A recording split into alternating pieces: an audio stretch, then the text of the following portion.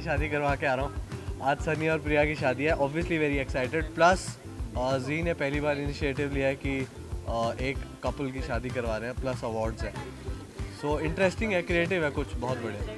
जी आ, मैं अतरंगी कपड़े पहनता हूँ लेकिन आ, इस बार मैं उतना अतरंगी नहीं कर पाया क्योंकि आ, मैं प्रिंस भाई की शादी में थोड़ा सा बिज़ी था और सारी अरेंजमेंट्स हम सब करवा रहे थे। सो so, इसीलिए इस बार से थोड़ा कम अतरंगी है लेकिन जो भी है ऐसे ही है।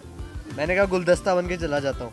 यार, शादी मुझे लगता है कि जब दो लोग इतने प्रिपेयर्ड हो जाते हैं कि वो एक दूसरे की प्रॉब्लम्स और एक दूसरे की हैप्पीनेस सब एक साथ एक अमेलगमेशन के साथ, एक दूसरे के साथ रहने के लिए कन्विंस्ड होते हैं, तब शादी हो सकती है।